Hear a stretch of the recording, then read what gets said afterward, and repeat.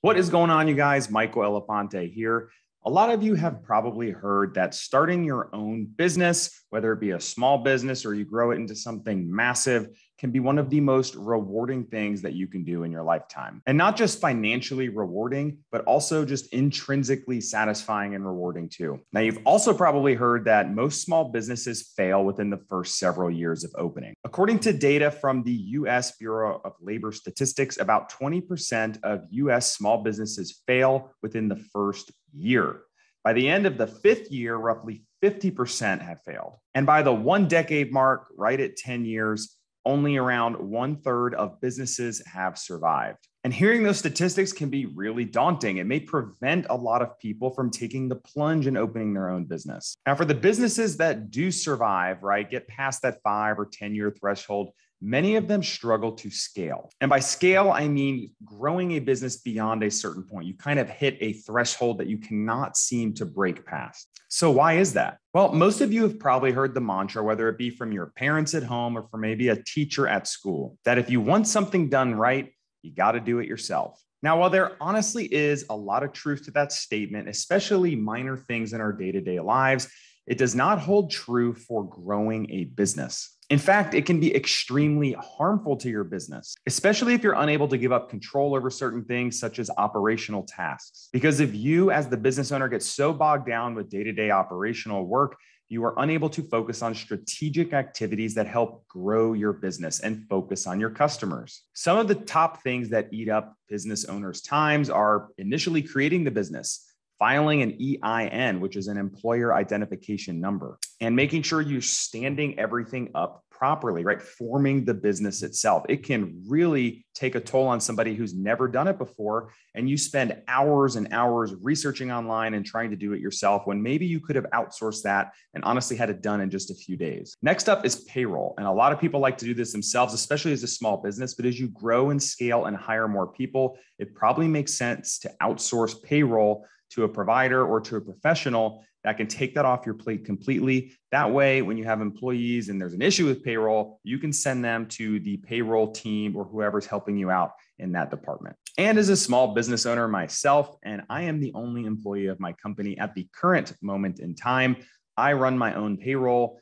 But I can see as if I were to scale to five or 10 or maybe 25 or even 100 employees someday, that would be way too much to take on just payroll itself. So I can totally see how that eats up a lot of small business owners' time. Next, we have bookkeeping, and that can completely ruin some of your weeks, especially if you're not organized on the forefront. If you're not keeping books properly, it's going to make it much harder to organize the books later down the road. Honestly, with the books, I would recommend outsourcing to a professional just from the get go. It's not that expensive to outsource that aspect of your business. And of course, last but not least, is everybody's favorite thing to do throughout the year. I'm totally kidding, which is taxes. Now, doing a simple tax return on your own isn't too bad. You can learn on YouTube, you can use several software tools out there, some are free even. But as you get into more complicated personal returns, especially when you have a small business or you have something like real estate investments or even crypto investments, it really helps to outsource to a, an accountant that can do your taxes for you because that can help save you guys thousands of dollars in and of itself alone. Now, there's a really cool company that is sponsoring this video, and I wanted to talk to you guys about that company and what they offer and how much money they're saving people that use their services per year. It's honestly blown my mind learning about them the past few weeks. This company is called 1 800 Accountant, and they are a one stop shop for all of these needs that I mentioned earlier for small businesses. Not only can they give you back countless amount of hours per year, like probably hundreds of hours per year, but more importantly, they can help save you thousands of dollars per year on taxes. Four out of five small business owners pay way too much in taxes, especially during their first year of business. 1 800 Accountant has been able to save their clients an average of 12,259 tax dollars per business per year. For some small businesses, that is a massive amount of tax savings, right? That is money that is back into the business and back into your pocket. And remember, that's on top of the countless amount of hours that you're saving by taking yourself out of those operational tasks, as I mentioned before.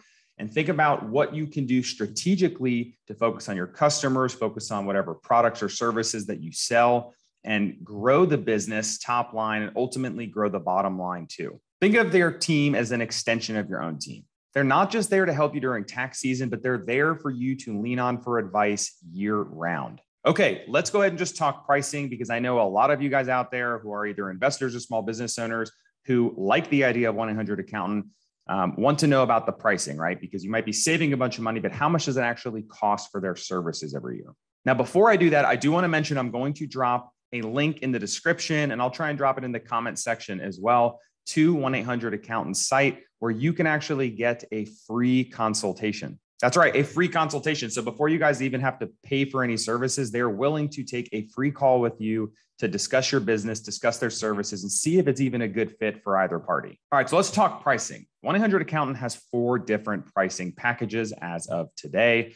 They have their basic startup package, and this is best for brand new businesses just looking to file an LLC you get customized articles of organization, verified name availability search, unlimited phone and email support, and secure online access to all your incorporation documents. So, a pretty basic starter package, but this starts at $0 plus whatever state fee uh, is incurred. Next up, you have their business package, and this is best for businesses who need basic accounting support. So, beyond just the startup costs and filing the LLC and the articles of incorporation, you get access to a portal, you get a dedicated accountant, year round tax advice, and then you also have proactive tax planning. So, this can help you throughout the year to ensure that come tax season, you guys are prepared to make sure you make the most out of it.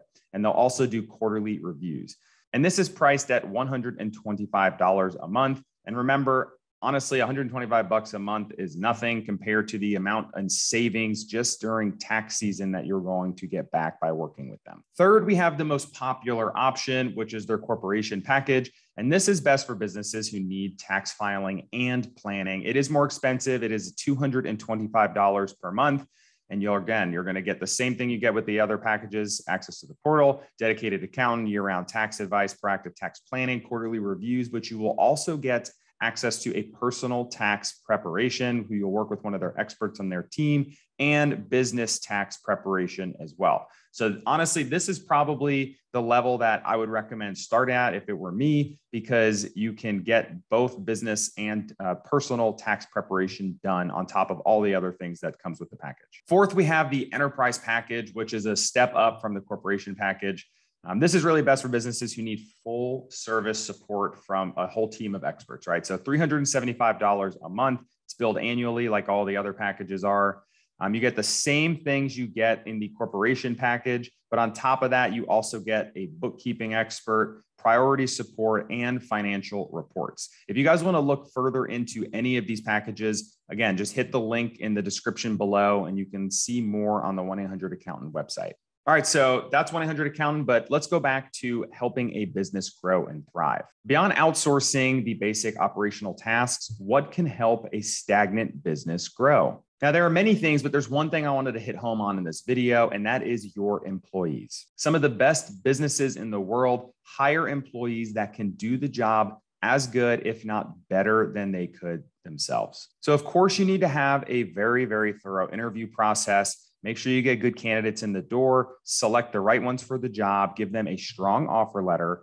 But more importantly, you need to provide them with the right training resources when you actually onboard them. Because you can hire amazing talent all day long, but if you aren't a good coach and kind of teach them, show them the ropes, or have a team that does so, they may not even know what they're supposed to do or what a good job from a bad job looks like from their role perspective. I think a lot of businesses tend to cut costs by underpaying employees slightly. Maybe not even underpaying them, but just not paying them top dollar. If you don't pay employees well, you don't train them, and then you don't give them opportunity to grow within the company, and if you don't treat them like gold, you're likely going to have a high attrition rate. An attrition rate just means how quickly employees are quitting and leaving and moving on to another uh, employer. Some of the most successful businesses on the planet Think companies like Apple or Google or even Facebook. I know those are tech companies, but that's just a couple to name a few that I know personally. People work at each of those.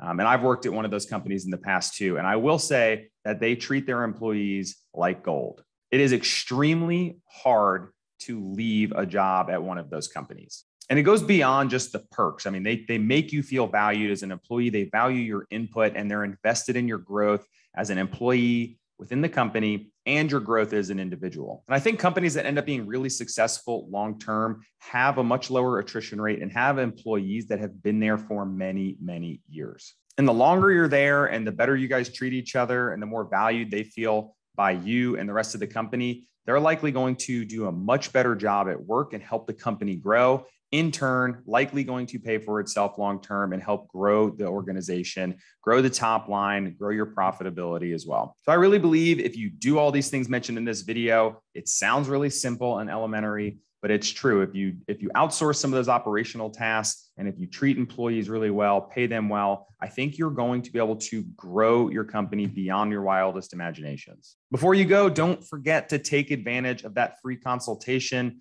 by 1 800 accountant. Even if you don't take advantage of a free consultation today, I do recommend hitting that link and just looking at all the different services they offer. Check out some reviews online. They're a pretty cool company and they offer a lot of things that can likely help you guys grow. And if you are an investor or a small business owner, I would love to hear some comments in the comment section below from you guys. Uh, let us know what are some things that you have struggled with in the past, maybe some ways that you were able to overcome those struggles or adversity and how you were able to get past that first, third, fifth, 10th year in business and really grow your company longer term. So I appreciate you guys watching this video. Of course, uh, like the video, subscribe if you guys want to learn more about uh, business, finance, and certainly real estate and Airbnb. I do all sorts of topics like that. So appreciate you watching. See you soon.